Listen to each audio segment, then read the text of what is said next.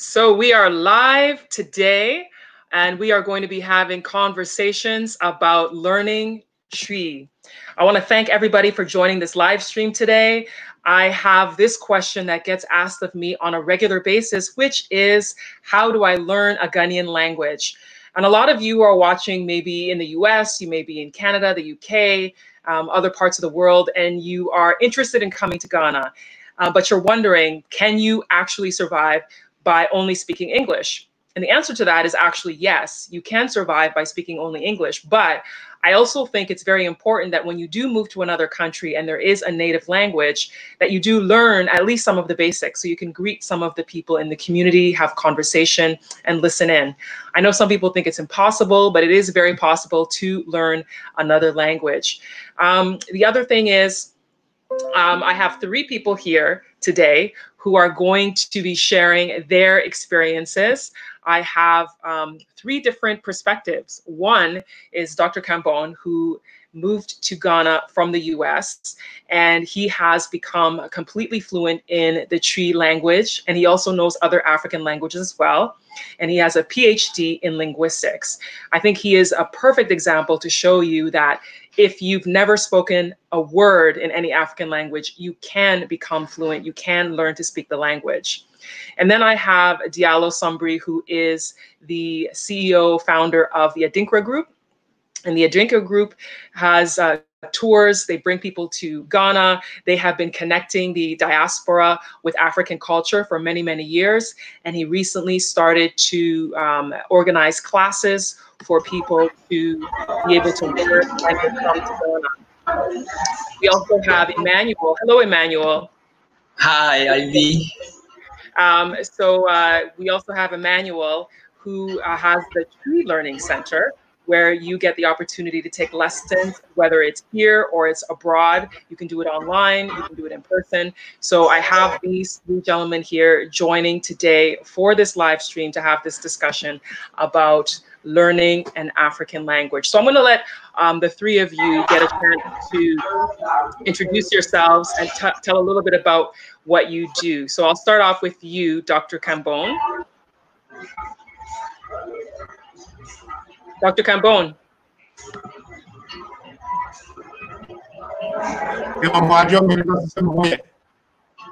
So uh, I'm greeting you good evening. I hope that all is well.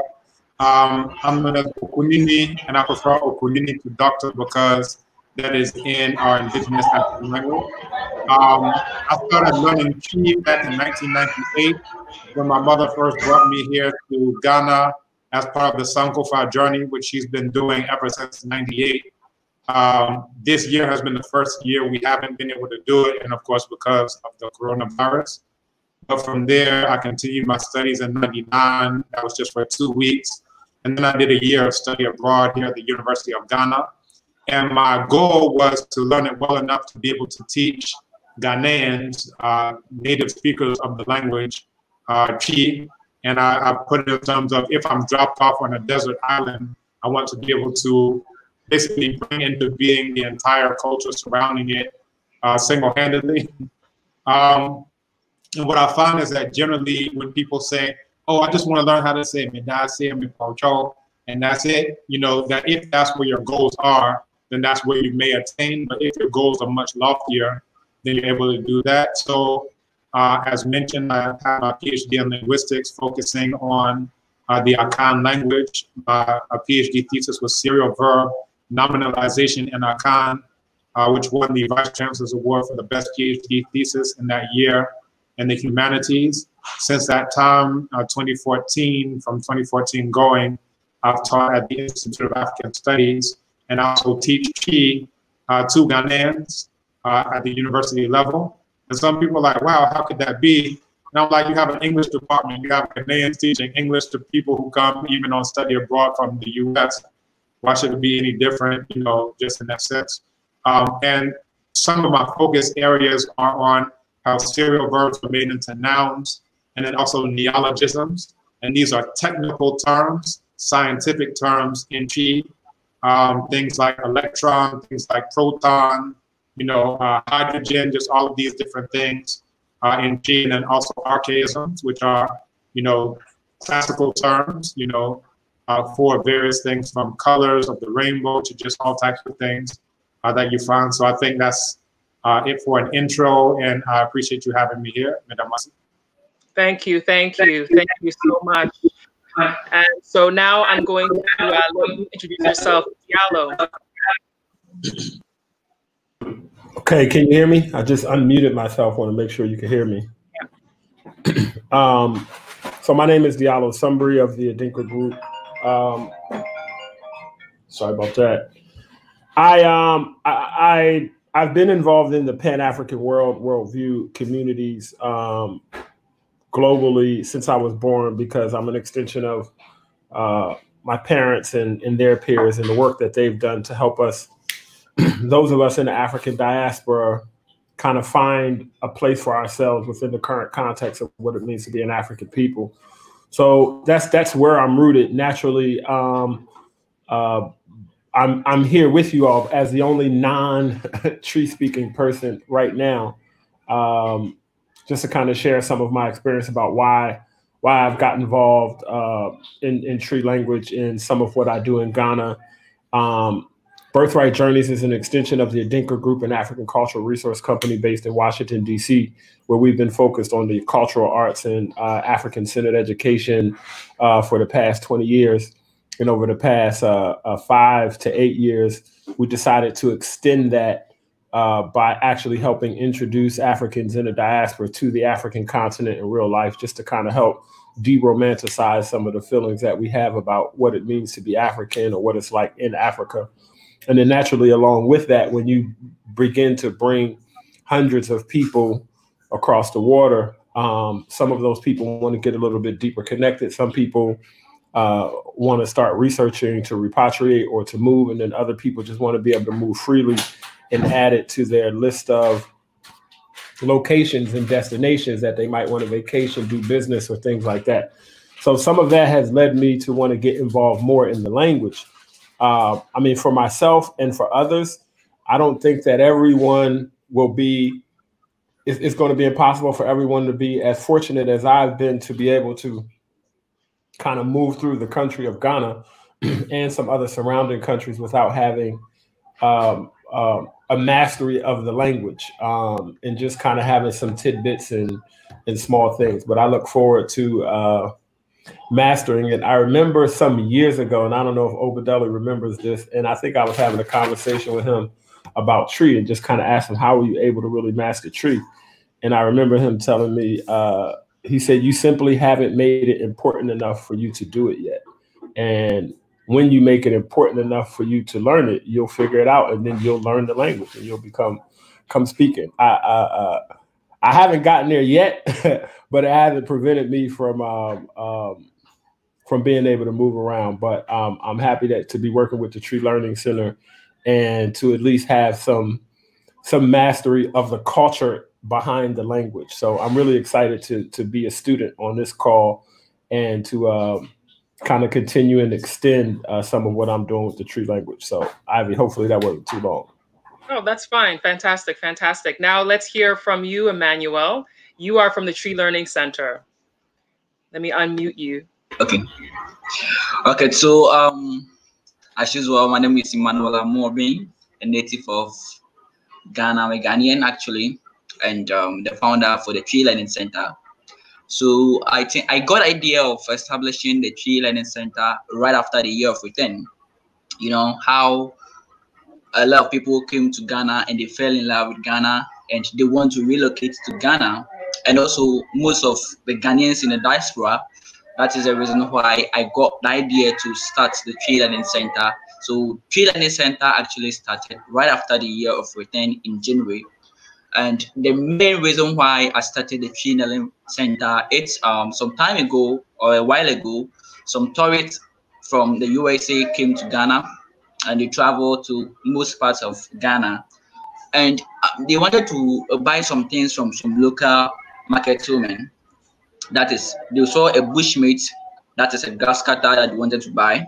So they just wanted to know how the local market women trapped the animal to you know catch it. but unfortunately they couldn't, you know, express themselves well for the Americans to know what exactly they are trying to say and how they trapped the particular animal, that's the grass cutter. So there, there was a language barrier, right?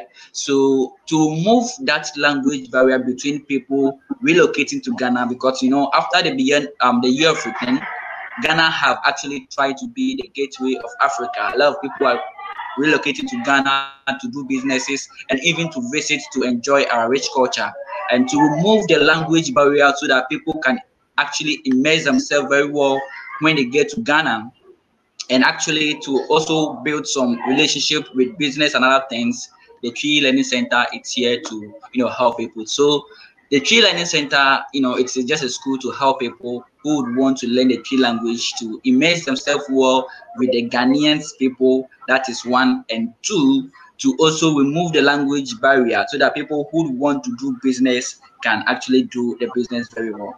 Uh, you know, because Twi happens to be the widely spoken local language. Although English, it's the official language because of our colonial masters.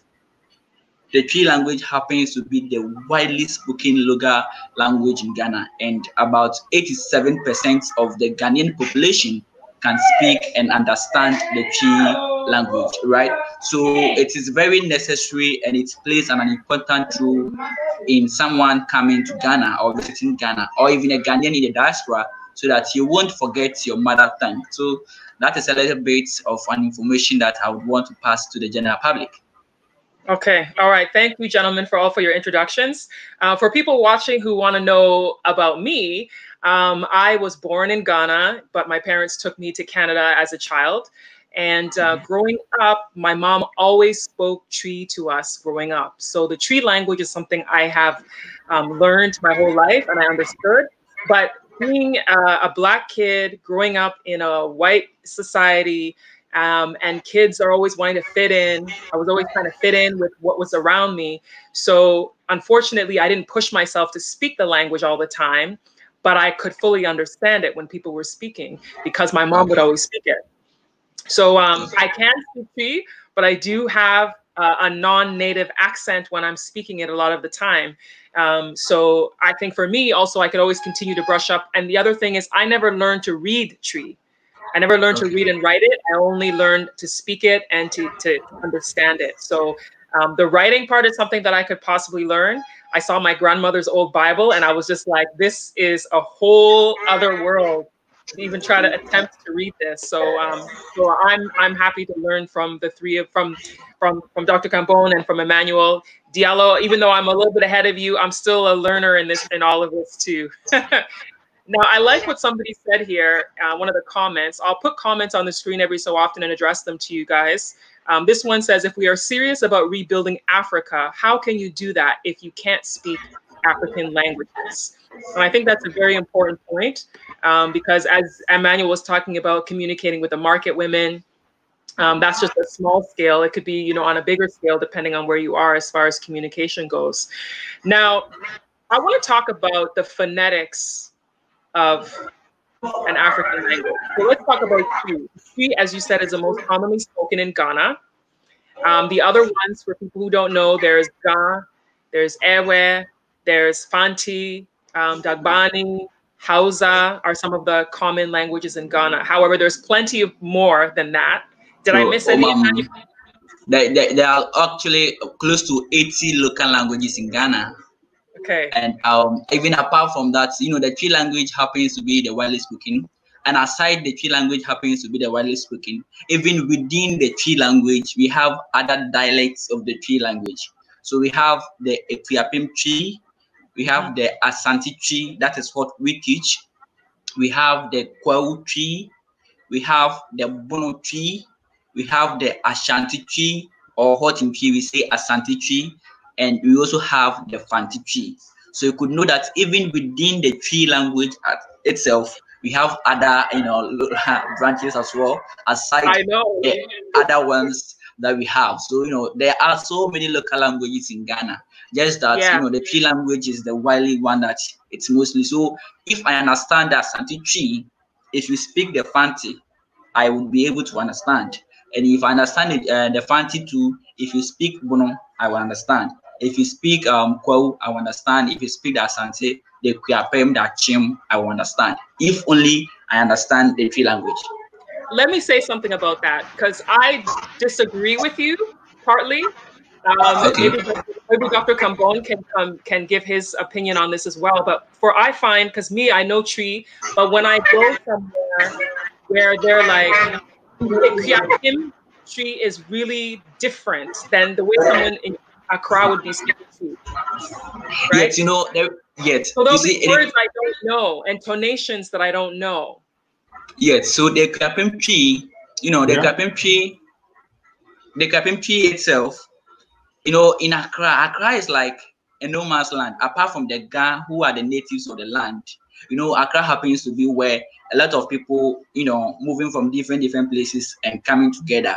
So someone might be a new learner of the Twi language, so might be missing the words. So you know, Accra, if you get to Accra particularly, you can't really learn Twi within a typical Accra community or a Gang community because of how they use some of the words.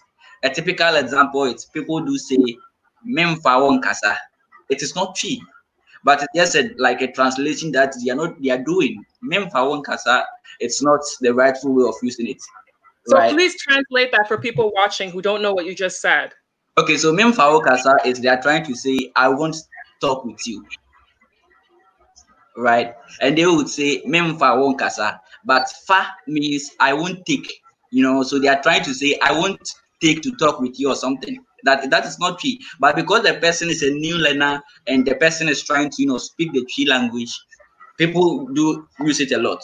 But the rightful way of speak using that particular word, mene won kasa, mene wo in kasa, that is I won't speak with you. So, but they will say memfa won kasa. So the Kapem Twi itself, like they do say insu, but Asante will say insu. So it is just the O. So Asante will make it easier for you to understand and speak the language. But Equiapem, you know, it's a kind of very strict. So it Yes. restricts you. So so Yes. but if someone say insu, and if you understand Twi, you will definitely know that the person is trying to say water because insu it's water and insu is water. Yes, that insu is easily like if you want to speak it, it is easier than insu, right? So that is it. So the Kapem actually it's um not really something different. Just that some of their words it's difficult to pronounce if Well, you you know compare how to I the would- accent. I would I would compare I it also to like to saying on this. Uh, English. uh, just In real one- quick, Audrey, on the point. Go if I ahead. could be heard. So when I first started learning uh, Twi, this is in the late 1990s. So I'm in my uh, late teens by that point, and I, I have the same issue that you uh, mentioned, Ivy, in terms of different dialects. So I had learned Asante Twi only to come to Accra and realize that people speak Twinglish, which is an odd mix of Twi and English, and it's not Twi.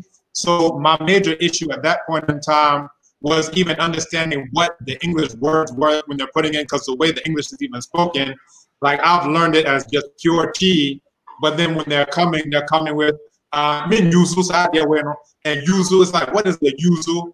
And they're saying, I won't use, you know, whatever the thing is. So for me, I'm like, I'm, I'm kind of picturing my Twi dictionary, like, what is the yuzu? What word is that? And then eventually you come to realize this is, you know, the nature of the Twinglish that they're speaking.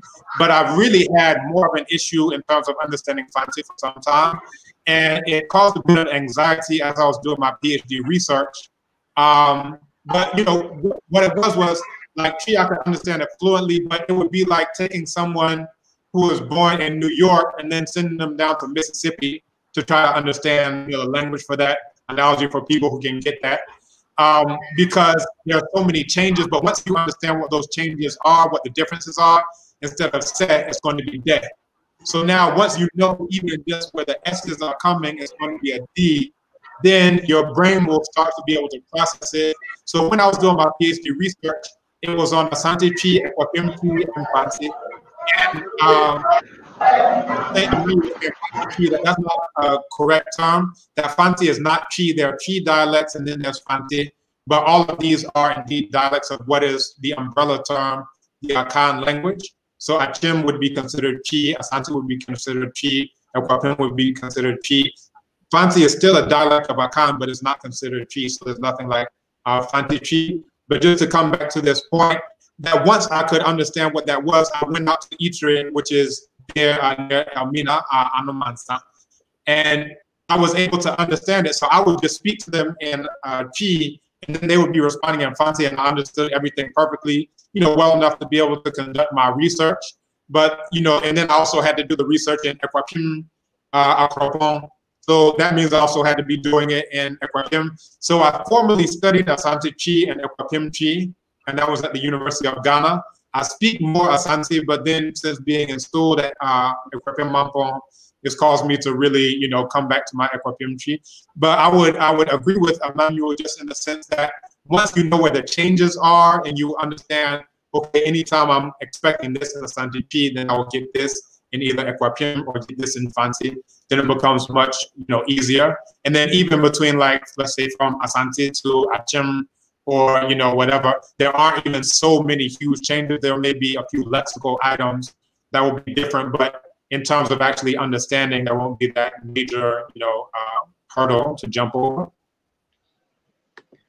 Thank you for sharing that. Thank you for sharing that. Um, I want to uh, mention to everyone here that um, Dr. Kambon has the uh, Abibitumi um, Educational Center that teaches um, a lot of stuff that is very important for our community, for the Black community. Um, this is the website here.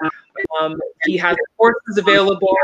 And uh, I also noticed that you have an app, um, this Abibitumi yeah. app that's on uh, both Google Play as well as on the uh, the Apple App Store. Can you talk a little bit about that? Is that a learning tool people can use? Very good. So uh, Abibitumi has been around. Uh, I've been teaching Twi formally online since uh, 2005, and, and through Abibitumi as an independent platform since 2006. So this isn't. It's not a year of return that we've been in it for quite some time. But in addition to Twi, we also teach Yoruba, we teach Wolof, we teach Kiswahili, Medunecha, and we're actually expanding out uh, this year. And we would like to actually get full coverage of every single African language spoken on the African continent. So again, we, when you have lofty goals, you're able to get close to those goals or exceed those goals. But that's exactly what we're looking to do. Um, you know, I've been a Ghanaian since 2016, and you know, in terms of citizenship, and what I came to understand is that you know, and this is even from an earlier stage, that we have to have our platforms not just to learn the language. And this is one thing, like even on the advertisements, it mentioned local language. And I don't like to use that term. I like to use the term indigenous language because when you say local, that's just pertaining to or characterized by a place or position. It's just saying something restricted to a particular place or space. So it's not really having any type of emotional connotation like this is ours, right? But when we say indigenous, we're saying this is something that comes from the land, comes from the soil, grows from inside of here, is ours, right? And I also I heard uh, someone say this earlier, colonial masters. I never use that term either. Terminology is very important. I always say colonial enemies because that's much more accurate. But just to come back to the G, we realize that there has to be a bridge between the understanding. We, when we say Abibitumi, that is Black power. So some people who are into culture, you know, it's something that is divorced from our objectives as black people to get liberated. So it's like, oh, I'm into culture, I'm pouring libation with schnapps. But it's like, where's schnapps coming from? That's coming from Holland or whatever. So it's like there's a divorce from what we talk about with African liberation and then what we talk in terms of us reclaiming our culture. And what Abibitumi is, is we're using an indigenous language to express this concept of black power, right? So we have Abibitumi, we have Abibi Fahodie, and really, a lot of it is about conceptualizing the world in terms of our own worldview, right? And, you know, just this morning, this is what we do every morning, just to give you a sense of it. And this is uh, what we do at home is what we're making available. So it's not like I'm going to get on the internet and say, oh, all of y'all need to learn African language. But in our household, we're doing something different. Every morning we get started, we wake up with libation and we alternate. One day we'll do libation in Twi, the next day we'll do libation in Yoruba, and then we'll go back and forth each day. And then from there, we have all these Adinkra stamps. And then we also have Ramwa, which is the gold weights. So every morning, what the children do is we basically make a game out of it. Who, who knows what this one is? So I'll hold up the stamp, the actual stamp that we got from Ntonso. And then, you know, it's like, which one is this? And now, like literally, they're climbing over each other to answer. Oh, this one is Anibra and Soja, right? That even if the eye is red, it can't light a fire, right? And then we go into, well, what does that mean? What are they even getting at? We're going to Jinyam, we'll get into all these things. So essentially, it has to start from the household. And it's like Abby, you said, you know, in your household, uh, your mother would speak to you, but you know, you're doing your own thing, you're trying to be hip. um, for our children, this is what we do. So they have to transcribe every single day that they're transcribing at least one page from their Twi book. And then from there, they do their Yoruba, and then from there, they do their Medu So this is what we're doing in the household. This is what we've now extended out to the global African family, where you can actually learn about the Proverbs. Right now, as we speak, we have uh, Bwana Msonobare out of Kenya, who's teaching the Kiswahili class, right, through our Bibi Tumi. We have the Medu class. We have two different sections of Medu classes that are going on right now. For those who may not be familiar, that is the very first written language in the history of the entire planet Earth, and it comes from right here. So these are, and I don't want to hog up the time, but I do want people to know, come to Abibitumi, you can download the app, you can go to the website, there's also a mobile a website, or you can uh, access it through your browser. And there are groups for learning the language in every aspect of the culture. We have 10,000 members, we have 200,000 posts dealing with uh, Kikongo, Kiswahili, Asante Twi, Yoruba, Wolof, uh, and again, this year we're expanding out. We're going to introduce Hausa, Pular, which is one of the dialects of the Fula uh, language, Mandinka. We actually went through a list and we've compiled a list of uh, over 200 instructors in African languages. And, you know, this is what we're also trying to introduce through the Institute of African Studies, which is where I work. Um, so it's very important. And I, am hearing, I just saw this comment, I wish my parents had done this. And this is what we get. We get heritage learners. The main two people who come to us, types of learners who come to us are uh, Africans whose ancestors were enslaved and have been removed from the language for hundreds of years, right? Uh, well over 400 years in terms of that. And then we have those whose parents did not teach them the language. So these are Ghanaians who were born and raised in the UK or in Germany and in these places. And a lot of times they have a grudge. They say, you know, I hate that my parents did not expose me to the language so I could fit in, or so I know I'm not British, but then I'm not fully Ghanaian. So it's like, what am I? I'm kind of like some type of bat. What's really going on here, right? So, you know, this is, I'll just close on this. I will encourage people to come to Tumi to me to learn the language, to learn the culture, and see how it ties in to our aspirations for African liberation. Abibi Fahundie Great, thank you. I've been putting your website on the screen as you were talking so people can uh, jot down that information to get to your website and then also find your app. Um, we already have someone right now who says they're going to download your app today. Fantastic. Um, I want to um, go to Diallo and uh, oh, now my parents are sellout. Just woo, woo, woo. You know, um, just to just to go on that comment, that's why even though I don't uh, speak it very well and I do understand it, I make the efforts. I am so thankful and grateful every single day when I'm in environments and I'm understanding what's going on. I'm like, Mom, thank you. Thank you. And I tell her every day, I'm like, when we talk, I'm so grateful that she continued to speak to us. She would be like, um, uh, I remember an incident in a grocery store um, before I get to Diallo. In a grocery store, we were there. My mom was speaking Twi to us in, in Canada. And I was like, Mom, speak English. All my friends, they speak English. My mom's like, Hey, me, me if ya, me come me chrome casa. And it was just like, oh my goodness. She'd be like, Italians, omo kamu chrome casa. Greeks, omo kamu chrome casa. Chinese, omo kamu chrome casa. Me if ya, me come me chrome casa. And me home. so, being, mom, I, I thank her all the time, seriously, because she did well. She really did well. You know, I'm disappointed my father didn't speak Ewe to us because he spoke Ewe and he spoke Gam, but he didn't teach it to us, unfortunately. So, those are two languages that I would love to learn, and I'm not there just yet.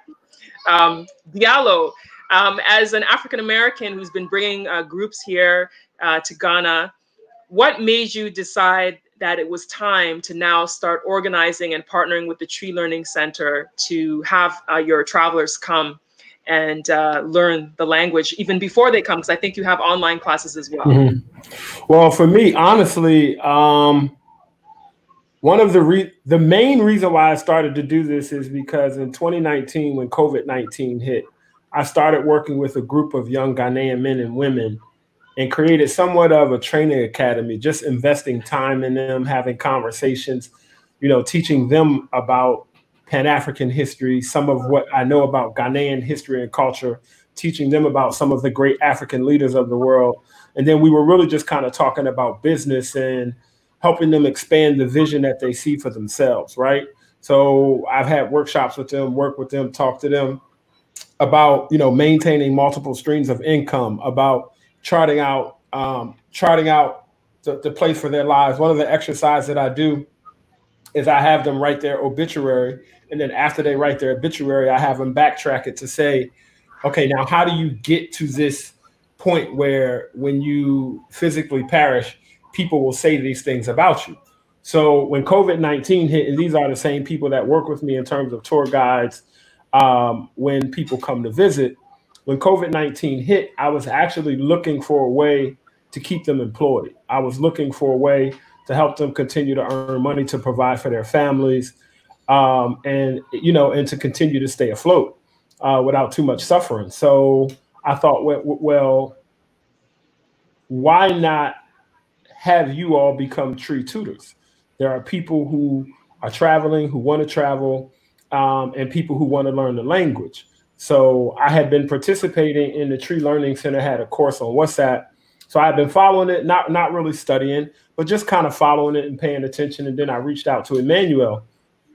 So Emmanuel helped me understand the difference between Ashanti Twi and Akuapem Twi because I live in Akuapem, but I'm learning Ashanti Twi. So when I take some of my homework and talk to my people there, they like that's different. so that's always really, really, really, really, really um, interesting. And you know, when you're moving and when you're moving about and living in Ghana, it's something for people to understand. When people see that you have invested in yourself in learning the language, they will give you more. They want you to speak the language. They want you, they see that you are serious about the culture and being in Ghana and not just a quote unquote tourist who wants to come take pictures and get the cheapest price. Um, so culturally, it helps them invest in you. So like like I wanted to make sure that uh, before I left Ghana to come back to the U.S., I could say "Miko abrochie." So then they, hey! so then they help me understand. So then understanding the cultural element of abrochie is not Europe; it has to be the U.S because it's foreign and it meant something. Now that's a whole nother conversation that I'm sure um, yeah. Obadele would enjoy when you start talking about the depth of colonialism and the levels of why going to America was such a greater thing than anything else, not only because the distance. But what brought me into it was a number of things. One, finding a way to employ people, finding a way to help young Ghanaians be employed. So when I partnered with Emmanuel, Emmanuel helped me understand the difference uh, between Akuapem Asante Twi. We both started talking about the quality of our companies and our products and making sure we wanted our brands to be represented well. So we agreed that I would bring in the people that work with me, he would train them, and then he would get to decide as the expert which of those people were adequate enough to teach and tutor the lessons that he provided. So right now I'm able to help. Um, I think I have about six or seven tutors who are working with us and I'm able to help them provide for their families by offering. I'm able, so I'm able to do two things. One, help interested people who um, are interested in learning the language have a course where they get a tutor to help them throughout the week with the lessons. Um, I'm able to help the Twi Learning Center expand their brand, their work, their effort in terms of learning Twi, and it helps to add to the products and the services, and even kind of the kind of branding and how we brand languages and offerings and how we help people expand the vision for the way that they see Africa in the United States. Um, I'm also working on a few products and opportunities to scale this up because there's no reason, like Obadele said, for all African languages why it should not be available to everybody that wants to learn. There's no reason why all of these people who continue to profit uh, uh, whether black owned or it doesn't matter who you are, but when you look at the African tourism industry, language should become a big part of that business model. Um, specifically for me, for people of African descent, I always let people know. People ask me, well, you know, can you travel to Ghana with you if you're white? And I'm like, well, we're not doing this to take more white people to Africa. To be frank, we are interested in helping people of the African diaspora discover uh, and participate in what this new African Renaissance looks like, so that the next generation can continue it the same way my generation continued from my parents' generation. So um, it's a way for us to, you know, keep people employed. It's a way for us to expand our services and helping people deepen their understanding of culture and language. And a step beyond tourism is also something very good for people who are interested in repatriating or people who are interested in doing business in Ghana. And just let me say, um, let me add that when I say people are not as fortunate as I, I came to Ghana. I didn't come to Ghana for business. So I didn't come to Ghana for tourism. I came to Ghana really for spiritual reasons and spiritual purposes and healing. So my first few times in Ghana, I, I just the only time I saw Accra was from the airport through the Aburi Mountains up through to Akuapem. And I spent all my time in Yame Becha there, a small town right past Timpone in Akuapem North. Uh, so having people that I trust and people that I know with me to help me understand the things that I don't understand is really, really, really, really important. You know, and having people who are not just necessarily interested in maybe you know a tip I may give them or a payment I may give them, but people who are literally interested in helping me kind of immerse myself and understand the language. Like, like most people, like if you can say I dang in the market, like the value of being able to say that at the right time with the right inflection, even if you don't know any other language, any other word in Twi will drop that price by 30% from the beginning. Just so because. Tell so tell everybody right now what Adang means. It means why. so it just is, is, is, is my favorite word because it works in so many different situations in a cultural understanding that now somebody has to re-explain themselves and come correct or come again. So it's more than just why, but just you know, uh, uh, this the last thing I'll also say, um, and I'm sure I would love to hear Obadele talk about this from a cultural perspective. The importance of greeting to African people, I'm gonna say holistically, is more than just saying hello. So when the morning, when when I learned and I could say mache, when I'm walking down the path and I can say mache, and the people in the town are like, oh nana, you know what I'm saying? hey, yeah. Or if I could say wahonta san, mehoye, nyame adom, na won't sway. When I can just do that, oh my God, it signals that I have a high level of respect for the culture. And every morning I do that, I got to spend an extra five to 10 minutes getting a Twi language uh, uh, lesson from somebody in the village, whether it's a baby, whether it's an elder. Once I go that far, they stop me and they start speaking Twi, and they're not going to let me walk away until they teach me something else. Like, no, no, no, now you have to say this. and then they'll make me repeat it. They'll make me repeat it. And then I'll be like, okay, I gotta go. you know, but it's very, very, it's very, very real. But for people, um, and hopefully before we get off, we can talk a little bit more about just kind of what my perspective is, what I want like people to get who've come for the year of return or people who may be entering into their African consciousness. You know, if the year of return helped to spark your entrance into the African consciousness, then some of this would be important for you. But but yeah, I'm employing people, so I'm able to send people a paycheck every two weeks by tutoring. It's it's the language, it's something that they've had. Um, Emmanuel tells me we have some really good tutors, so I'm sure he could chime in as well. Thank you, Diallo. I'm just putting the flyer on the screen here of um, from your from the Twi Learning Center before uh, I get uh, Emmanuel to make a few remarks. This particular flyer says um, beginners, Twi for travelers, Twi conversational words.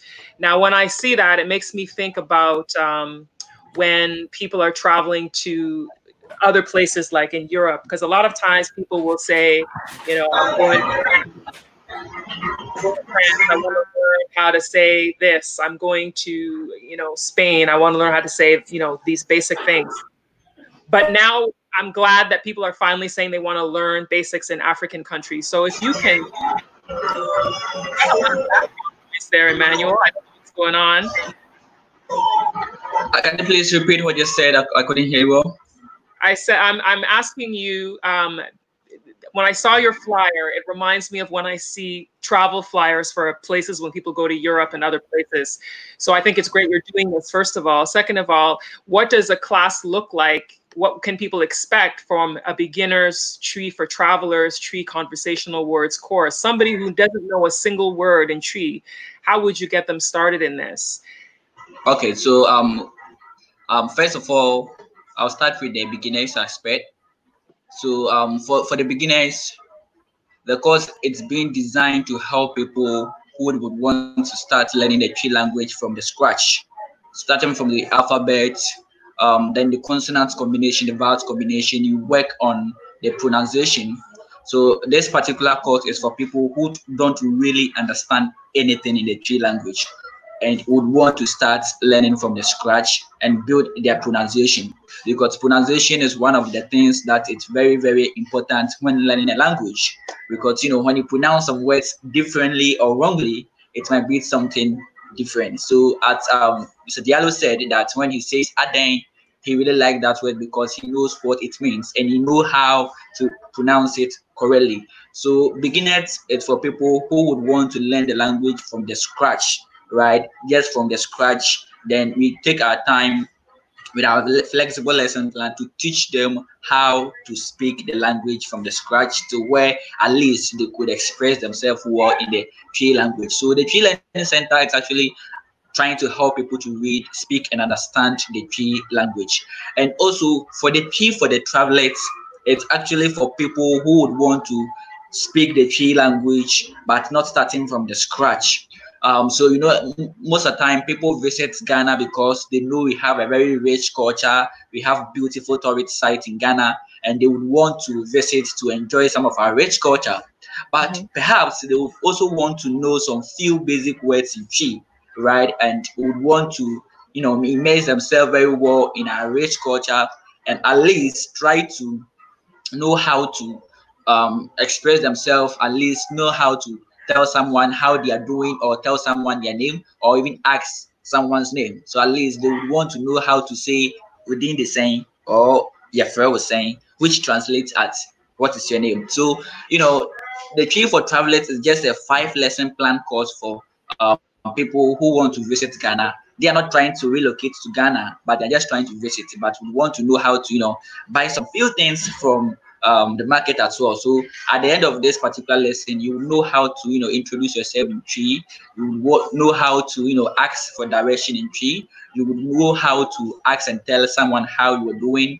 You would also know how to buy and sell in Twi as well. So that when you get to the market, you would know how to at least ask of a particular you know a product, the price and the cost, and how you could pay as well. I can't remember when um I visited the certain restaurant with one of my students. I know she's watching. And as soon as we got there, her favorite food is wachi. So as soon as we got there, she said, "Meto wachi. Like people were like amazed, like were happy that she was able to, you know, at least speak the Twi language. Because if you look at her, clearly you know that this particular person is not Ghanaian. But when we got there and she said, "Meto wachi, they were happy and they gave her that special treat so that she will know that she will feel so comfortable and feel so comfortable. So the Twi for travelers is for people who just would like to learn some few few things in Twi. And for the basic conversational words is for people who wouldn't want to, you know, start from the scratch. Maybe a typical example, it's like you yourself, Ivy, because maybe you understand some of the Twi language already. You wouldn't want to the alphabets, the consonants, and those things won't be necessary for you when learning your language. So people who are feeling a little bit rusty because they didn't practice the language, maybe they might understood earlier, but because they didn't practice, they have forgotten some of the words and how to even join some of the words to form a complete sentence. So the basic conversational words are words that are commonly used in Ghana. That is what um, we teach. So at the end of the lesson, the words that you were finding difficult to, you know, join to form a complete sentence or some words that you would want to know to you know but this one is not like the travelers because the travelers is just five lessons for people for some small things that they would want to know. But the commonly used words or the conversational words in Twi, it's 10 lesson plan for people who would want to learn the language but won't start from the scratch like the beginners. So they will start from, let's say, um, introducing themselves in Twi and actually how to buy some things in Twi, telling people their name, telling how they are doing in Twi, some directional words in Twi, and also try to tell people where they are from. So you get opportunity to know how to say me free USA or me free America, right? So me free means I am from America. So these are some of the things that when you join the Twi Learning Center and sign up for the particular course that you want to sign up, whether the beginners, the travelers, or the commonly used words or the conversational words in Twi, you would expect to you know know at the end of the lesson. And one thing, it's you know because of how technology has been part of arts and it's growing very fast. We have our live, our virtual live lessons on Zoom as well. So aside the video that you watch, the video just gives you an overview of the lesson that you have on Zoom. So on Zoom, you have a one-on-one lesson with your tutor, so that you know if you have any question and if you're having any challenges to with pronunciation, your tutor will teach you to understand the correct way of pronouncing the words and how it means. And if you have any question, perhaps uh, one man he usually writes names, some words in G when he sees it at the back of a car.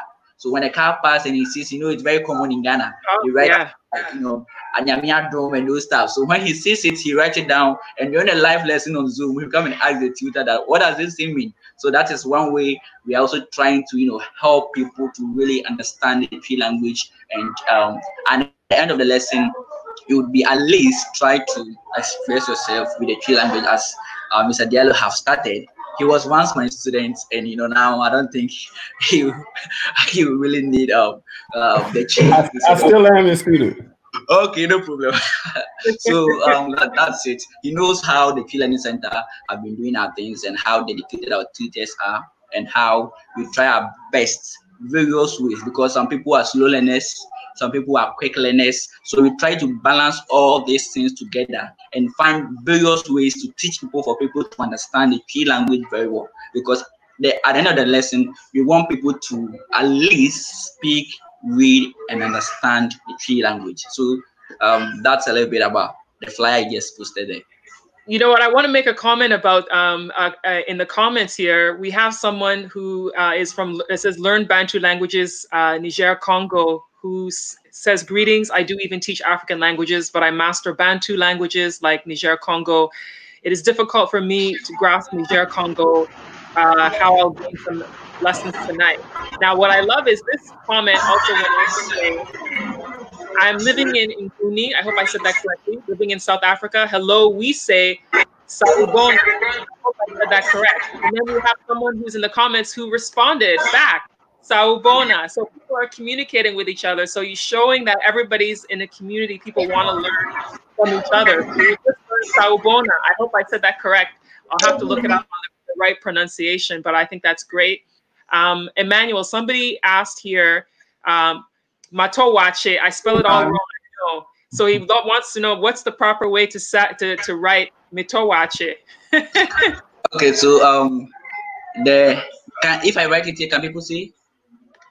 um, write it in the comments and I'll post it Okay, so it is um, in the in our chat and I'll post it.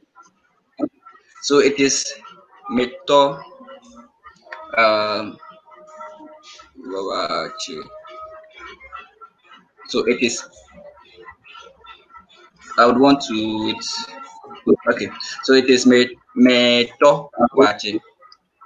Okay, so I use the um the black bracket for the the G or for the O. So it is meto Okay, exactly. is. So Okay, Dr. the- got it. Okay, Okay, I'll post so this. you could you could see that there it's Merito, right? Yeah, but I'm that's about not how put it up. Use mine because I have. you see Merito. He he wrote Merito, so Merito is a crapping P, right? Okay. So they're all there.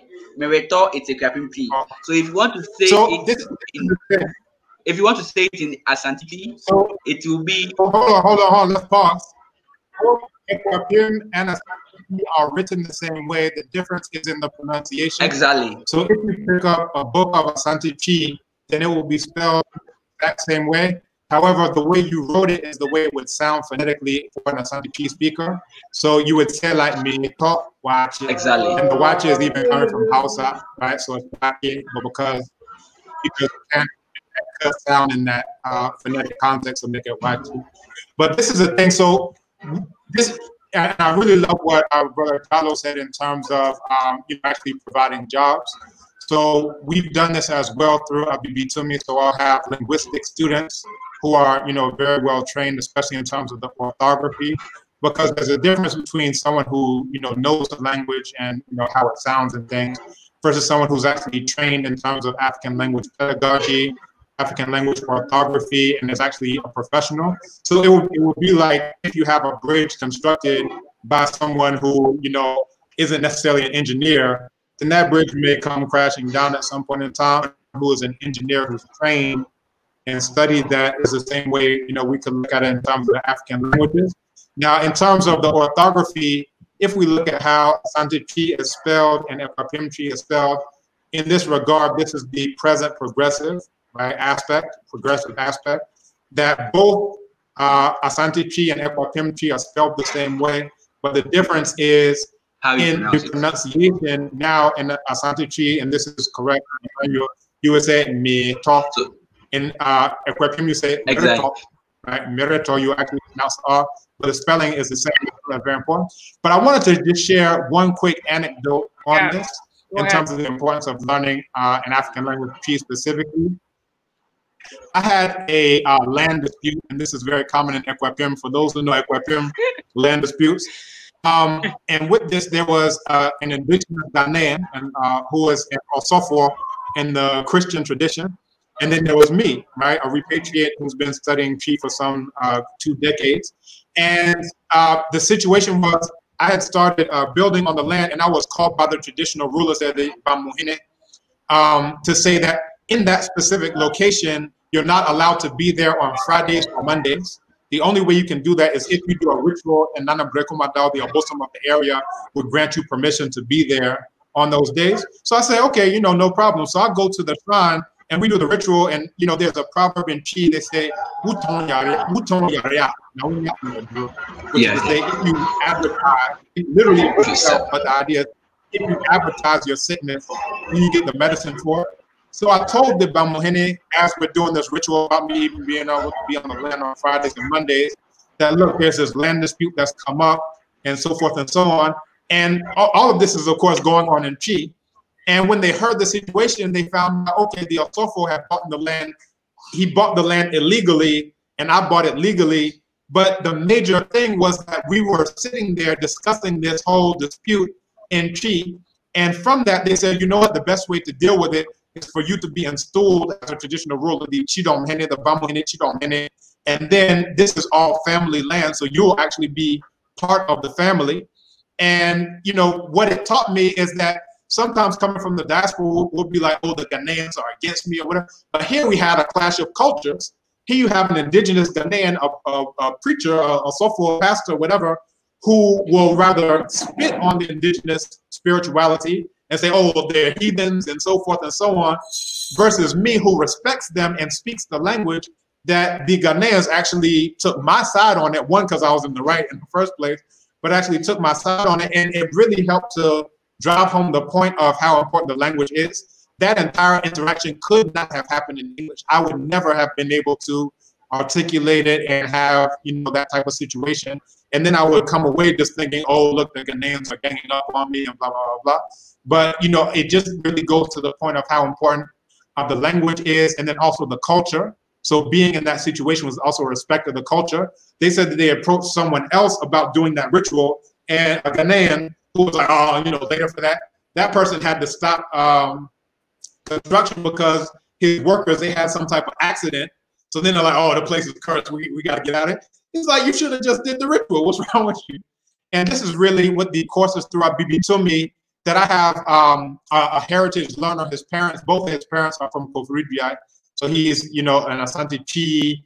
Uh, he's not a native speaker. His parents didn't teach him the language. And he said the thing that really uh, set Abibitumi courses apart is that the lang- that the culture is part of the language. So in my first Twi book, which was by uh, Prof. Florence Abena Dolphyne, you know, it had things like um, Coca-Cola and um, you know, pizza, like all these types of things. And I'm like, I'm not trying to leave English to get more Twinglish, right? What's going on here? So with the courses that we design it, we design it with it's like. Wubo Busiaben, which is something that's very traditional. We that's uh, what Matra clan do you belong to? So in that case, you will see something like Asona, Agona, like all these things. And that's not in the uh, lessons there because a lot of the instructors themselves are coming from a very you know missionary education background that they don't even many of them i'm not saying all but many of them don't even have respect for that. So when they're constructing their Twi books it's a Twi book of oh and it's like oh i'm going to church on this day. Oh it's like and that's in the lesson. It's like how in the world is that you know going to get you involved in the culture? Or we'll have some like Subang and he said that that was the thing that he has all of the P courses from every organization you can imagine. And he said that the Abibitumi ones are the best because it really helped him to understand the language, the culture, and the worldview, as opposed to, you know, looking down on the worldview and now you're just getting some type of English thing going on. So I just also wanted to share that anecdote as well. Thank you so much. I, I like your term Twinglish. okay, so a quick one on what um he just said concerning the the word, the Asante and the Ekuapem. So the Ekuapem will say merito, right? And Asante will say merito. So the um the progressive marker that indicate that an action is ongoing is the re there. But in Twi, in Asante Twi, when speaking it, you don't you know speak the re what you do is you slide over the r there with the immediate vowel closer to it. So you could see that the merito, you just have to take the r in the merit, right? The r sound there out and say merito. That is how you would say it in Asante, but Ekuapem would say merito. So he, he sounds correctly, yeah. Um, so hey, we have oh. here. Go ahead. I was going to add something. Um, that I think uh, um, it's important for people to understand. Um, and again, this is from a Pan African perspective. I, you know, me, we've worked together throughout the year, yeah. return and also other chat groups. You know, people have to realize that African people, even though you know our identity was stolen, we never lost our rhythm and our spirit, right? So when you look at the differences in the languages, it's important for people, and it depends upon how deep you want to get into this, right? So if you are looking to learn some words for your trip and you it's a bucket list thing, you want to take seven, you want to take a seven a day, uh, seven to 10 day trip to Africa, scratch it off your bucket list as a black person, and to say I did that, I think we have to make space for that and for that to be okay because we need as many people in the world to touch the African soil as possible. So for those people who are looking to do that, you know, learn to say good morning, learn to say where you're going, how you use the bathroom, how do I get to Cape Coast or whatever, and that's fine. But for other people who, and I think it's really important for people who are interested in integrating into society or repatriating, because as we know, language is an aspect of culture, and so much of our Africanness is embedded in the culture, not only even just uh, the intonations of the language, but the body language that you use when you say the words. I'm noticing changes yeah. the meaning. like, like, like it's, it's it's really, really, really, really, really, really incredible. And these are the things yeah. that I'm watching as I'm learning. But um, at once, once, once upon a time in my life, when I had less gray hair as a college student at the University of the District of Columbia, I was an English major. One of the challenges that I had as an English major, as a black person, is I couldn't find the culture in the English language, and all the culture that I found in the literature in the language was evil. So I had a lot of I had a lot of problems with my English professors.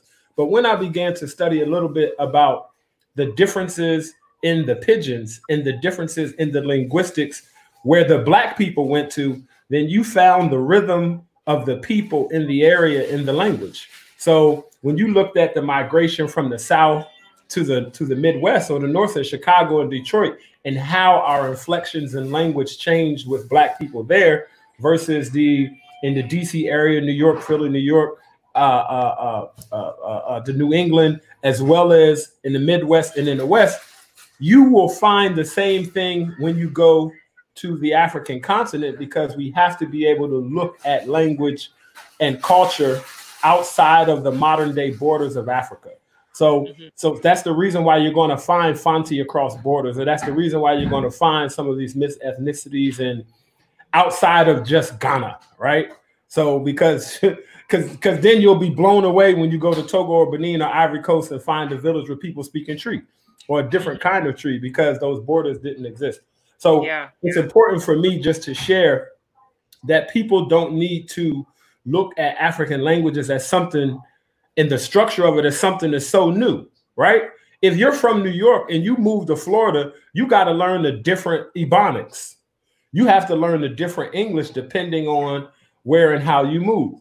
If you're in corporate America, but you still live and work in the hood, you code switch. You learn a different language, yeah. you learn a different inflection, you learn a different body language. So, especially in DC, you know, in, in DC, it can make a big difference between what's up and what's up. What's up could mean how you doing, brother. What's up could also mean what the fuck is you looking at?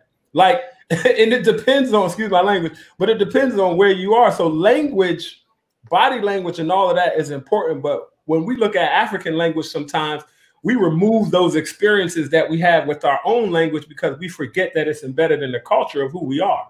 Yeah. Yeah. You know, so for those people like me who don't speak it well, but we may be able to communicate very well because we understand the culture of it, I want us to not forget about that part because it can help us be less intimidated in communicating, if that makes sense. Great, great. Thank you for making that um, relation there. Somebody's uh, connecting with it. And I think it's important to, when we teach, that we teach it in a way that people understand. Um, Emmanuel, I know that you said that you can't stay on past an hour, and I just want to go for a few more minutes because there's a couple of comments here. So if you need to leave, I'll let you say some things before you have to go. So um, I, I'm available. I'm available for, um, for let's say 30 minutes, minutes more, please few more minutes so okay. um they can they we'll can, just be a few more minutes. Yeah, we'll just be a few more minutes because there was a comment few, back few, here that few, I few, few more minutes, yeah. A, a few more minutes, yes. So there's a comment that I had seen that I had put on the screen earlier before. Um, oh, this one. I wanted to um, get uh, a, a comment on this from from the the teachers here um, Dr. Kambon and uh, from uh, Emmanuel as well, that between Twi and Swahili, which language should we keep as the language of a continent? I've heard Swahili, Swahili is the most spoken in Africa, not Twi. Well, today we're talking about Twi largely because we are talking about Ghana, but if you two can comment on this, that would be great. Okay, so I think um, Dr. Um, Okunini should, you know. All right. Yeah, I actually want to share my screen because I've done uh, a paper in connection with another one of my colleagues uh, called Kiswahili or Kiswahili, right? So it's basically a connection between Twi and Kiswahili. And what we showed is that you find the exact same proverbs in Twi that you find in Kiswahili. I'm not sure if everyone can see my screen. Can you all see my screen? I just added it. And can you also hear me? Yeah. Okay, great. So what you find is like in Twi, you'll have a proverb like which is when a funeral arrives, we are polite to the palm wine tapper. Literally, we say excuse me to the palm wine tapper. Or which is if a funeral comes, we call the uh, palm wine man chief, right? But then you have this similar type of proverb in Kiswahili, which is uh, msitu kane wa gema na uleve ungalipo, which is while drunkenness persists, one should not insult palm wine tappers. And you find the same type of thing where you have in which is one hand doesn't lift a load, or in which is one hand isn't sufficient for covering the creator's eye. And in also in Kiswahili, you have this idea of mkono moja hauchinji ngombe, which is a single hand cannot slaughter a cow. And basically what we do is we go through all of these things, which is the healer doesn't heal himself, or mganga hajigangi, a healer doesn't cure himself. So in the uh, paper, and you can find this on my other site, obadelekambon.com, um, and it's been published through Ghana Journal of Linguistics, which I'm editor-in-chief of. We just go through all of these proverbs, and what it shows you is that the languages are not so far apart and what each one of these uh, things does, it shows that there's conceptual similarity, contextual similarity, lexical similarity, syntactic similarity, cultural similarity. And we find this, you know, we find this, you know, for so many of these proverbs. And I also did another presentation uh, where it goes into uh, body part expressions. You'll find in these different languages any type of emotion or abstract concept that you find in English, like happiness. It's like, what is that, right? And that's what I uh, felt as a child, similar to what Diallo experienced, where I felt like English is a meaningless language. Where if you say happy as a native speaker, it doesn't mean anything. It's not like I means something and P means something to you. You just kind of like learn what it means in context when someone smiles or laughs and they hear the word, okay? But in P, in Yoruba, in Wolof, in Kiswahili, in Medu Neter, you find that when you say this, you're actually talking about the part of the body that experiences it. So akomatoyam or abutoyam, which is heart fall stomach or chest fall stomach. And that's the way to say happiness. It's like, you know, you're it's settled down, everything has come down. And then you find the same type of thing in Yoruba Okanyo. You find the same thing in Kiswahili Moyo wa Furaha, Heart of Happiness. So and you know, this is something that I'm working on now. Same thing in Medu Neter, right? Heart is experience of courage, right? And then you find the same thing in, in P. You find the same thing in Yoruba. You find the same thing in Kiswahili. And the more he or she has heart. And then you find the same thing in the diaspora. So if you're in DC or if you you in New York, you be like, yo, you got mad heart, yo, right? You're saying this person is very courageous. And the way we say it isn't through an abstract term of courage. It's like, what does that even mean? You're actually talking about the body part that experiences whatever that emotion is. And this is really getting to the core of our worldview. And that's what really uh, made Twi important to me. Because for me, I was interested in the worldview and the philosophy. And I said, there's no way to actually understand the African worldview without actually understanding the language. And you know, when I came to the Twi language specifically, I found exactly that. Any emotion, any feeling that you have is connected to the specific body part that experiences it. So if I say mene ajit, I'm saying that my eye has received it literally. And you can picture how a child's pupil lights up, how their eyes light up, yeah. and the pupil dilates because they're so. And I was like, this is so deep. This is so powerful. Yeah. But then I realized it's uh, peculiar to Twi uh, but again, just to come back to the importance of culture, importance of worldview. So I don't think it's a thing about, oh, learn Kiswahili and don't learn Twi, learn Twi and don't learn Kiswahili. That once you start to learn one, it will open you up to the worldview and it doesn't have to be either or. In my case, I studied Kiswahili formally when I was an undergrad. I studied Twi obviously formally. And what it shows is that we're all one people, we're all connected. The same idioms, right, that you can find in these languages are the same things you can find in the diaspora, right? Wow, this is all so like fascinating. When you when you broke it down, the menijin, I never really thought about it as because I know it literally it's you know your eyes are, are are taking it or getting it. I didn't think about it as receiving, and it's literally because your body language, your eyes lighting up when you're happy. Have for it. He said yeah. I'm saying my, my, my, abdomen, like the inside of my stomach, burn, burns me. That's what you feel when you're exi- you know, anxious. You're you have afraid. anxiety. Anxiety, yeah. Like the word anxiety is meaningless. It's empty, right? I'm, I'm supposed to be a native speaker, but when I hear the word, is nothing. But when I say miyamshishime, I can feel that, right? so this is one thing. Well, this is how we learn body parts as well. So in the same lesson where we're learning you know, yam, ani, atiko, you know, it's really like all these things we're actually also learning the expressions that are connected to the body parts. And, you know, the people come away from the class, they're like, this is the most profound thing because we're all taught that our languages are primitive. Oh, we don't yeah. have a word for that. I remember um, the new uh, prospective vice president said, let's use English. People were saying, oh, well, how can you have a word for proton? But what about the word for photosynthesis? Oh, our languages are primitive. We can't do it. And I'm like, you know that proton just means first? It means nothing but first. This is like Greek and Latin baby talk. but we act like this is something so high and mighty that just dropped down from the sky. I'm like, you know, we have a word for first. The word kan and akan actually just means first. So why are we holding this central saying? And there was a quote, I just want to share this quote and then I'm, I'm going to shut up. But it's a quote from uh, Mam Cheikh Anta Diop, also known as Cheikh he says, European languages must not be considered diamonds displayed under a glass bell, dazzling us with their brilliance. Our attention must rather be fixed on their historical development.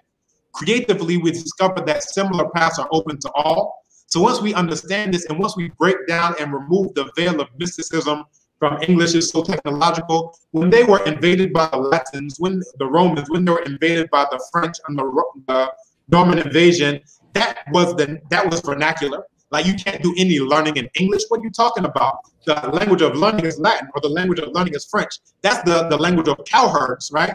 It wasn't even conceivable you could do anything technological, mathematical, or scientific in the English language.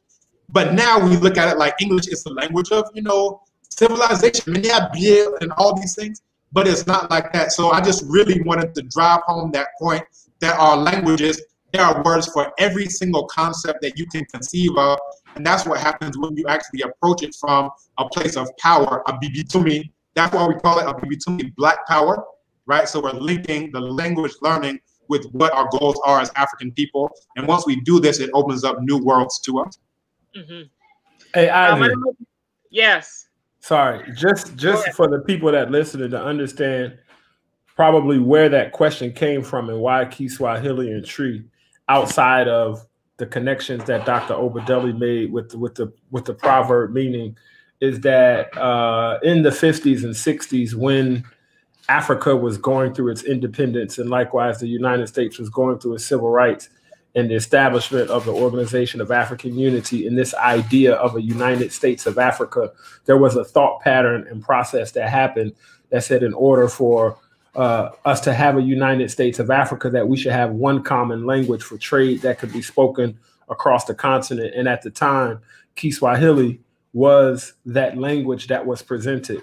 For those of us Africans in America who come through our consciousness inside of uh, uh, America, then a lot of us have associated understanding African languages through Kiswahili. So in these Pan-African and nationalist communities, you hear people say Jambo, Ham Jumbo, Hujambo. When you think about the Nguzo Saba, when you think about Kwanzaa, and you think about all of the various ways that we've attempted to to, to keep our identity connected, then Kiswahili joins that conversation uh, from that perspective, as opposed to being the most widely spoken language in Africa or the most quote unquote important language. So you might have to do another show um, and have Dr. Obadele on because I would love to, to hear him talk about the idea of language and the unification of Africa and if we indeed need a common language versus pointing out the similarities that exist in the culture of the languages. So I, I just had to make sure I gave both of y'all some homework because I love learning from y'all so much before I left. But I would love to hear hear, hear that a little later in conversation about that. I just wanted to hop in a quick anecdote about that as well because I mentioned I studied Kiswahili in undergrad. And for me, this is on a personal level, not necessarily related to the unification of all African people or anything like this. But I was, as I just mentioned, I was interested in learning the worldview. And in Kiswahili class, we were coming across all these words like bisikeli as for bicycle and like all these things, basically Kiswa, Kiswahili English, right? And I was like, all right, there's a proverb in P um, or an expression where you say, which is I don't run away from the fire ants to go hop into a fire. So I'm like, I'm trying to get away from English but then I get right back into more English, and then there's so much Arabic in it and so much other stuff. So just on a personal level, that's why I kind of even just put Kiswahili to the side for a bit. So I'm conversationing in Kiswahili when I went to Kenya. My, I, I switched my phone to Kiswahili. Everything is Kiswahili. So you know it's very functional. But if you're looking for actually understanding the African worldview at that point in time, based on my understanding, I said I'm going to go for Twi for Yoruba because it was very much uh, more tied to indigenous African spirituality, whereas a lot of the Waswahili culture is around, you know, Islam, you know, and Arabic this and Arabic that. Um, so I'll, I'll, put that in. Definitely uh, where uh, Brother Diallo comes in. A lot of the freedom schools, right? The schools around African liberation. My older sister went to Uhuru Sasa, which translates to freedom now, right? That was in New York. So a lot of that movement, and you know, when my parents gave us names, most of us got, you know, uh, names, Kiswahili language names, and it was from that. A lot of them ended up being Arabic too. But you know, that was the spirit from which we approached it. Right now, you know, there's this idea of let's have regional languages. That's one proposal. Another one is Kiswahili. That's another proposal. Another is Medu Neter, resurrecting that as a spoken language, right? The vocalization, because that's one where it's not going to get into quote unquote tribalism of oh well if you pump up Twi and what about Ga? If you matter of fact, just the other day, and I'll you know wrap up on this point. Uh, there was a sister who was like, um, we were speaking in Twi, so she's gone. Uh, she's actually um, done with, but she speaks Ga. So I, said I said Abianai, she was like, "Oh, what's Abianai?" You know, I don't, I don't understand Twi like that. Just say it, you know. And I was like, so i'd Abianai is the word for forty. It comes from, and it's easy to understand. Do is ten, and then nine is four. So modifiers are they come after. So a do a nine, Adu nine is saying four tens. So that's the way you understand. And it's basically the same thing as saying four T. The T means ten, and then the four. So she was like, "Oh, just say." She was like, "Me, I understand Ga." So I was like, "Okay, no problem. I think that's young man. She said, "Cabrofo, cabrofo, just speak English, speak English." I was like, "Oh, one go on I was like, "You see, you embarrass yourself. You said to Ga." So now I say the number in Ga, now you're lost. So she's like, "I'm not just speaking." But you know, basically, what this comes down to is we have to have more value for our language, right? You can't pull the thing of let's switch to Ga, and then when I switch to Ga, now you're like, okay, now I can't deal with that either. That once we understand that our languages are important, our languages are valuable, then each one of us, you know, for me, I don't look at Twi as my language. I look at it as one of my languages. And this is what happens when we understand that we're truly African. Yoruba is also my language. Wolof is also my language. Kiswahili is also my language. You know, the brother says Sawubona, I said Kunjani, India Pile right? Down, like all of these things, because that's also my language. Once I see this, every language on the continent is my language, right? Which is why I can speak something in everyone I've ever come across, right? So I can greet you in Bamanakan, Mba, like all of these things. I can greet you in Igbo, I can, but the ones that I've mastered are, of course, the ones that I teach. But once we understand this, then it doesn't get into this, is it Kiswahili versus Twi? we can come to a Kiswahili, right? and we can realize that there's a piece for all of our languages. And again, the Medu Neter one is a, a, place where we can even see, that's how we can get past the quote unquote tribalism. I don't like that word, but just so people understand, uh, oh, if you raise up Twi, crabs in the barrel, let's pull that down. We say, which is if you climb a good tree, which should help to push you up, right? So that's what we can work towards as opposed to let's try to pull down P so that we're all under, you know, Afrophone, right? These Eurasians, right? These non-black people. I'd rather any African language rise up rather than us all being, you know, trampled by the language of our colonial enemies. And that's my point on that. Thank you.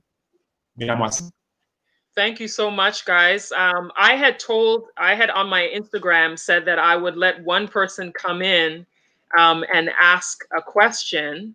And so I am uh, putting the link out there for one person to come in and um, ask a question of these gentlemen. Um, in the meantime, I'm going to answer the one question from the comments where somebody said, "What is the best way to get to get connected um, with the panelists?" Um, I have been putting it on the screen how to reach them.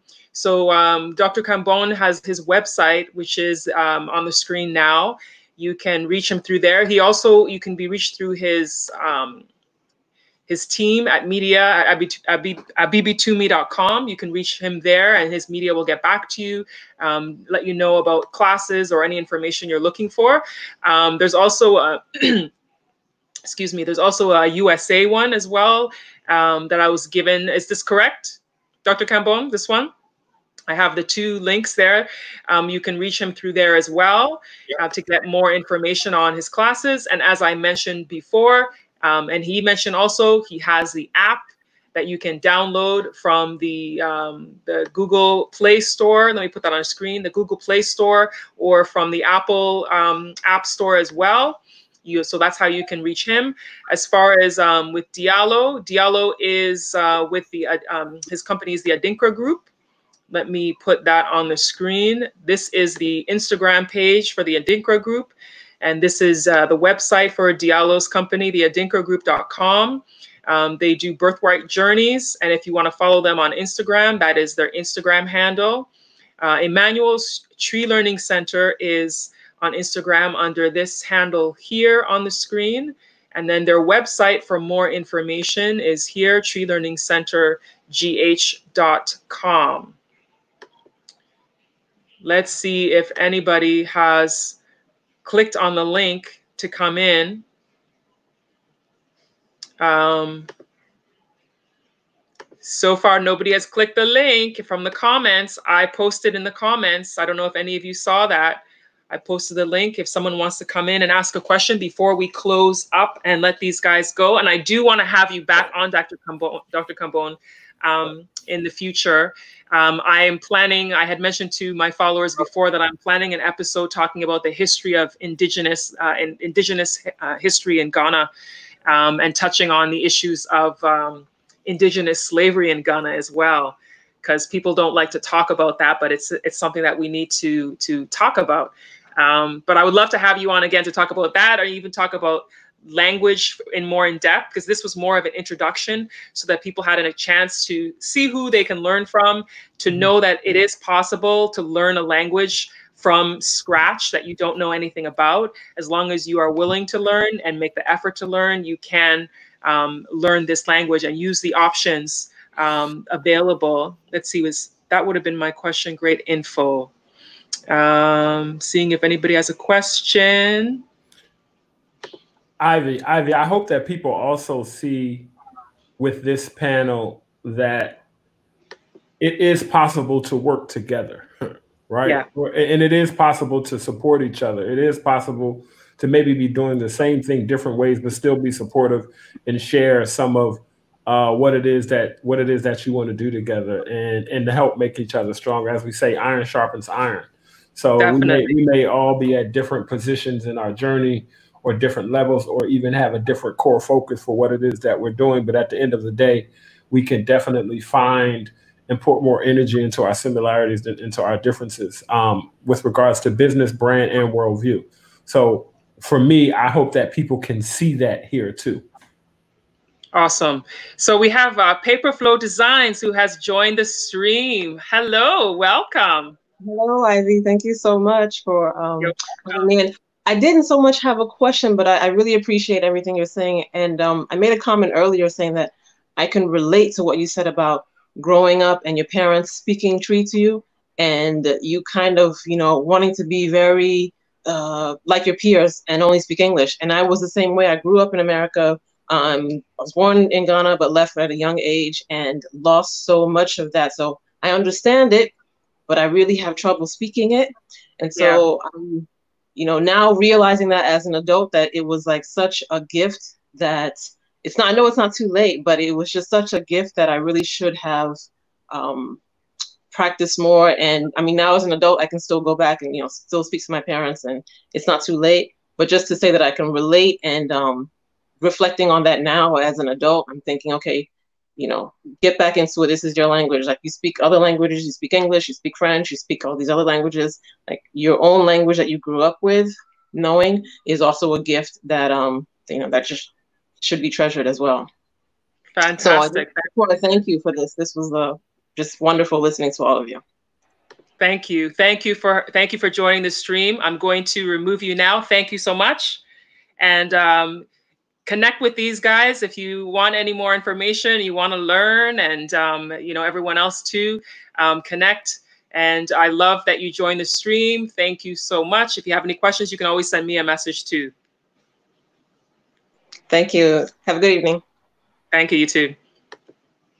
All right, so I'm adding one more website that uh, Dr. Kambon had um, had uh, given to me to share, so that you can all have information uh, from some of his writings, some of his publications here. Um, so if you want to get any information, some of his writings, some of his publications, that is the link right there.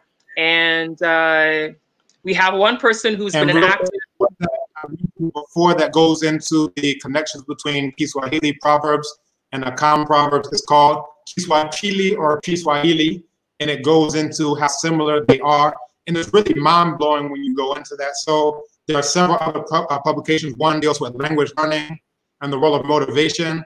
that actually ended up winning the uh, Provost Award for the best publication in the humanities at University of Ghana. So for people who are interested in understanding the role of motivation itself in language learning, that's a good one. There are several others there as well.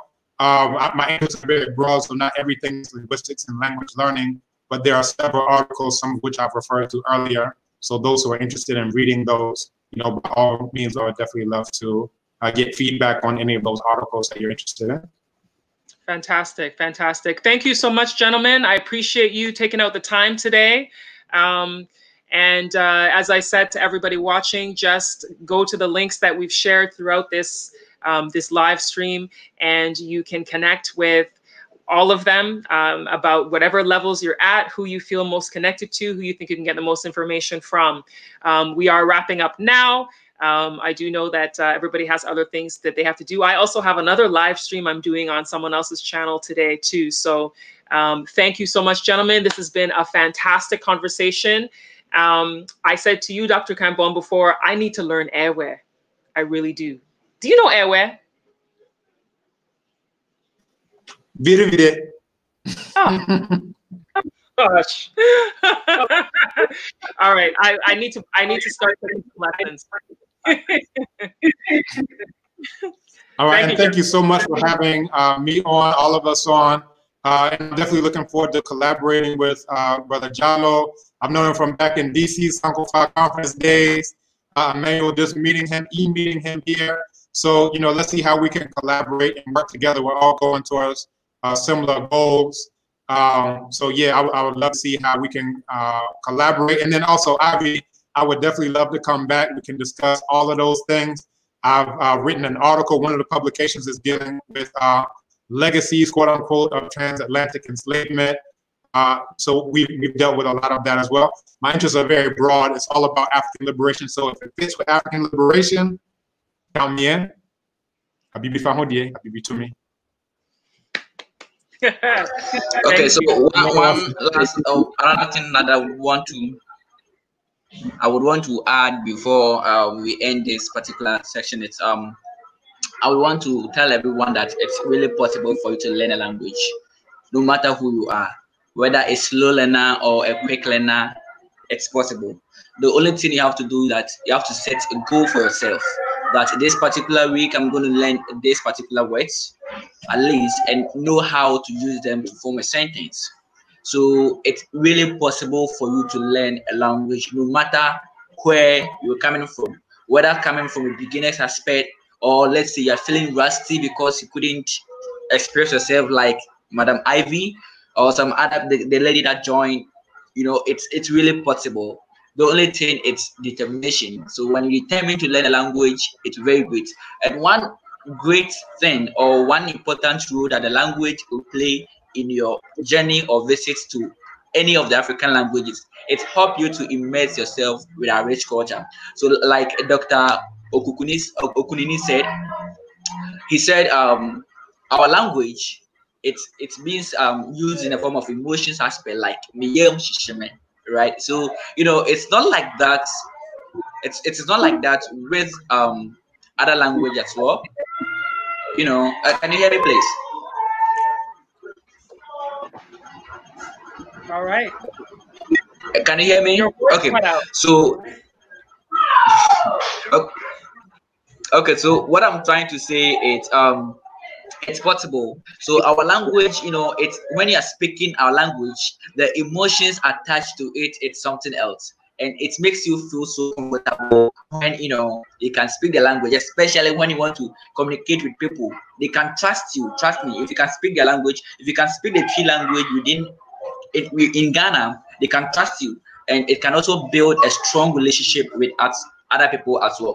So um, it's it's really great to learn any of the local language that you think will be okay. You can learn Twi, you can learn Swahili, you can learn everywhere, you can learn any of them that you think you would want to, you know, um, you would want to learn so that it helps you to immerse yourself with our rich culture. Yes, we have a rich culture, but if you can't really express yourself, a typical example is if you go to a festival in Kumasi, whether Abaikese, whether um Akwasidae or even Odwira in Akuapem, any of them, they speak in Twi. So if, if if you don't understand, how can you immerse yourself in a rich culture, right? So if if you can express yourself with in Twi, you can you know try to get and immerse yourself with a rich culture, and it can also help people to trust you as well. So it is not too late, no matter who you are, where you are, even if you are slow learner, don't say, huh, I'm a slow learner, so I can't learn. It's possible.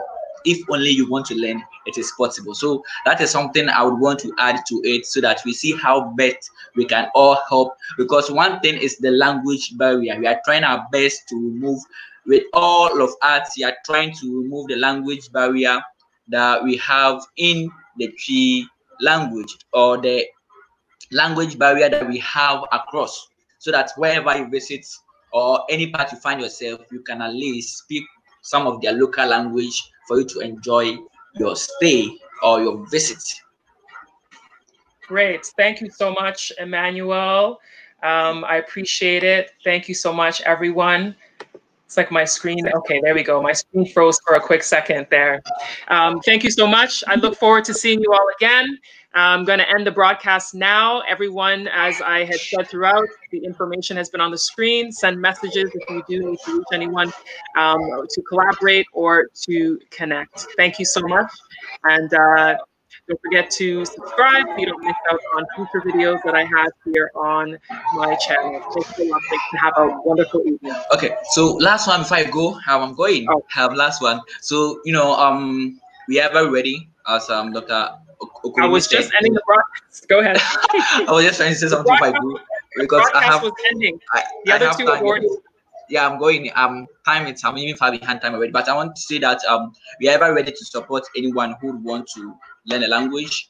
Both myself, Mr. Diallo, and um, Mr. Okunini, we are ever ready as we collaborate to also find ways to teach people to you know immerse themselves because that is what is our identity and that is what makes us you know a real African. That is what is really necessary because if we can do this, then it means we can enjoy our rich culture and people coming to their motherland would know that indeed we have something that they've been missing so that they can feel comfortable when they get to their various local homes or motherlands.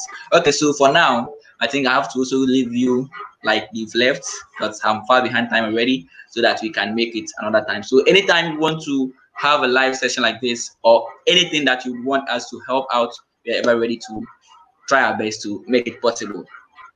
Okay. All right. Thank you so much, Emmanuel. Okay. Have a good evening.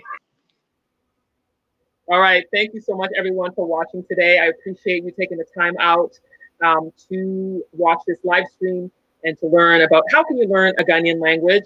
I know we weren't able to really dive in and do actual lessons, but today was an opportunity to find out about the language, about history, and about um, that you could possibly learn too, because I wanted to represent the different types of people. We had Dr. Kambon, who's become fluent in speaking the Ghanaian language and has learned other African languages too, and teaches. Um, he's very well versed in the history of different African cultures. And then to have um, Emmanuel, who is a native uh, Twi speaking person here in Ghana and running the Twi Learning Center, so you have an opportunity to hear from a native speaker. And then also Diallo, who is an African American who has had a strong connection to uh, Africa and to encouraging the diaspora to come to Africa and visit and learn the culture and take it all in. So um, I did put on the screen for um, for you to, throughout this video to see, you know, how you can reach them. So I'll put it on the screen again for people who may have missed it. Some people have joined later, but um, Dr. Kambon has um, his website, um. You can get a lot of information about learning um, African languages there. He also has other things that he teaches too. He actually just did a film that he had a screening for yesterday, a digital screening. Um, and then the Twi Learning Center, this is their website. Um, they have digital online classes as well as in person. If you are in Ghana um, and you want to take lessons, or if you are not in Ghana and you want to do it virtually, go to their website for more information. You can um, get to Diallo from the Adinkra Group. Just going to put that on the screen here. So his website is theadinkragroup.com for more information um, to uh, connect with him there. And he has a collaboration with the Twi Learning Center to learn uh, from them as well. I appreciate everybody who has come on here um, today and taken the time out on a Sunday. Um, I know that you know, you could be doing anything else, but you decided to come and join us for this conversation about learning an African language. And I appreciate you all um, for joining. And um, I appreciate you all who have subscribed to my channel.